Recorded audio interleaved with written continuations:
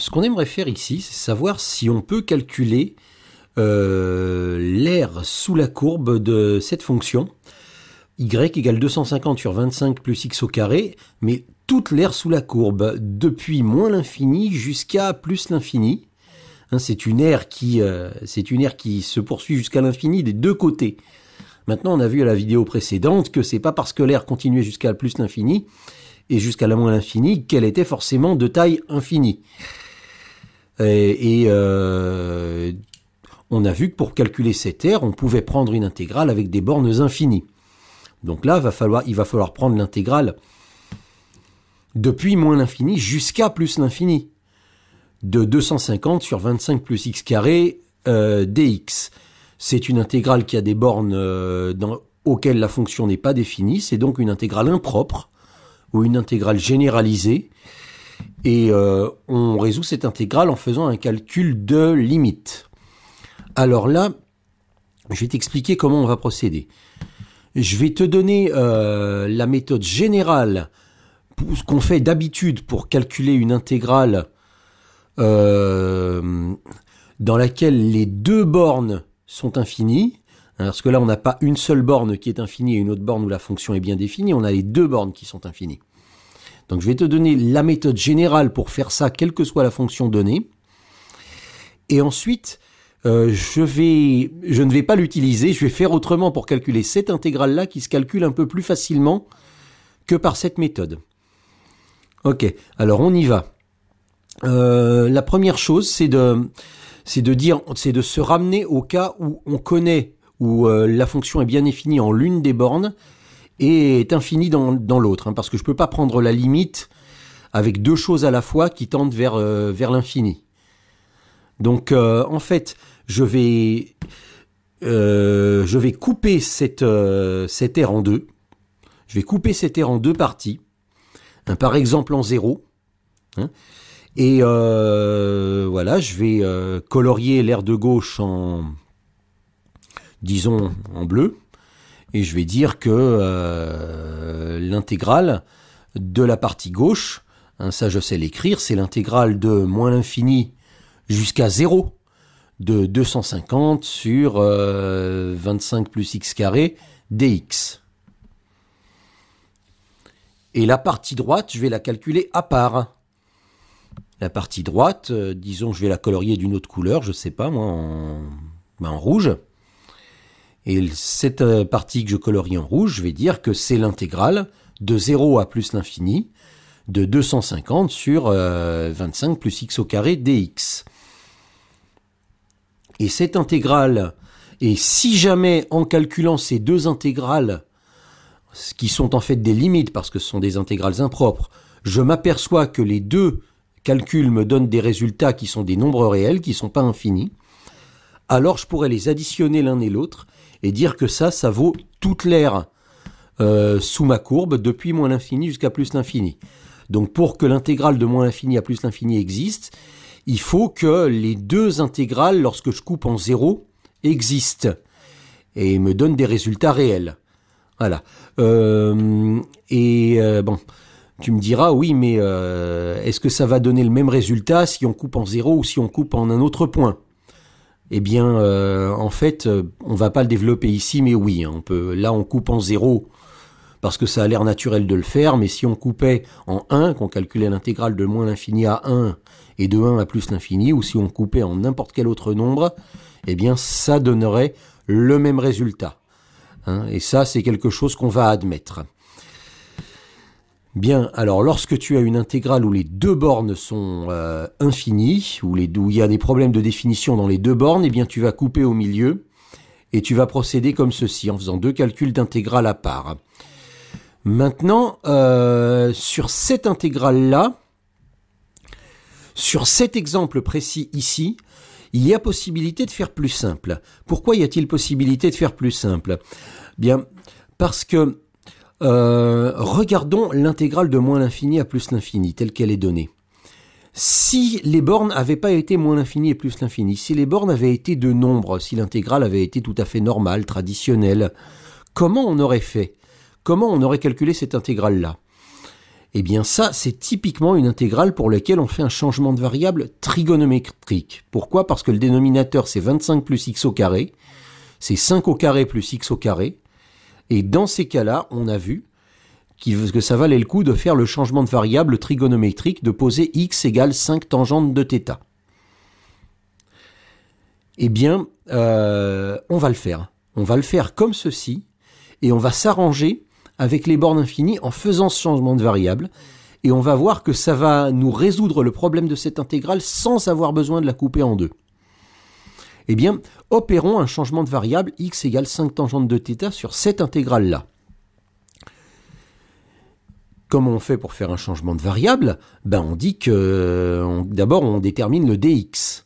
Un dx sur dθ, c'est la dérivée de la fonction euh, en termes de θ. Donc dx, c'est égal à la dérivée de 5 tangentes θ, qui est 5 multiplié par, euh, comme dérivée de tangente, je vais prendre 1 plus tangente au carré de θ, et je remultiplie par dθ. Voilà. Et maintenant, je vais devoir résoudre le problème des bornes. Lorsque x varie de moins l'infini à plus l'infini, dans quel intervalle varie θ Eh bien, pour ce faire, je vais faire comme je fais d'habitude, j'exprime θ en fonction de x, et je me dis que si x est égal à 5 tangentes de θ, alors inversement, θ est égal à l'arc tangente de x sur 5. Et là, je vais essayer de déterminer les nouvelles bornes d'intégration en termes de θ. Et je vais commencer par dire, ben, j'aurais envie de dire lorsque x est égal à moins l'infini, parce que c'est ce qu'on fait d'habitude, mais je peux pas dire x égale moins l'infini, x c'est un nombre réel. Hein, donc je vais dire lorsque x tend vers moins l'infini. Hein, parce que la fonction là n'est pas définie en moins l'infini, c'est pas un nombre réel moins l'infini. Je dis lorsque x tend vers moins l'infini, alors vers quoi tend θ? Eh bien, θ va tendre vers, ben, on va l'écrire pour que ce soit clair, θ va tendre vers la limite, c'est ici que je retrouve une limite, vers la limite lorsque x tend vers moins l'infini, de arctangente de x sur 5. Hein, θ va se rapprocher de ce nombre-là. L'arctangente de x sur 5, c'est une fonction continue et donc il n'y a pas de problème de définition. Ça va tendre, voilà, donc il suffit de calculer cette limite pour avoir la nouvelle borne inférieure d'intégration. Eh bien, lorsque x tend vers moins l'infini, x sur 5 aussi tend vers moins l'infini. Et donc cette limite-là, c'est la limite de l'arctangente en moins l'infini. Et donc la limite de l'arctangente en moins l'infini, hein, quand on connaît ces fonctions trigonométriques inverses, on sait que c'est moins pi sur 2. Voilà, donc ma nouvelle borne d'intégration en termes de θ, ben, tiens, elle est plus infinie, c'est moins pi sur 2. Hein, ça va peut-être nous arranger pas mal de choses par la suite. Eh bien, on va voir ça. Ben, on va faire la même chose pour la borne supérieure d'intégration. On aimerait pouvoir dire lorsque x est égal à plus l'infini, mais ça n'a pas de sens de dire que x est égal à plus l'infini. On va dire lorsque x tend vers plus l'infini. Lorsque x tend vers plus l'infini, vers quoi va tendre θ? Hein? Donc θ va tendre vers la limite en plus l'infini de l'expression arctangente de x sur 5. Donc c'est la limite lorsque x tend vers plus l'infini de l'arctangente de x sur 5. Et donc on va voir euh, à quoi est égale cette limite. Eh bien, lorsque x tend vers plus l'infini, x sur 5 aussi tend vers plus l'infini.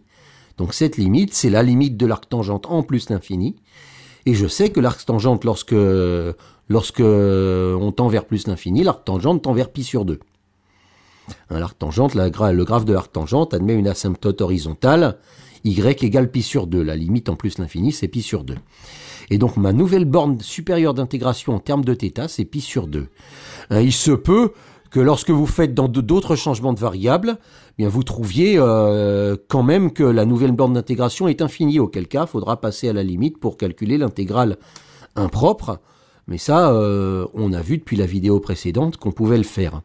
Maintenant, on va reprendre notre problème à nous et on va réécrire cette euh, intégrale en termes de θ.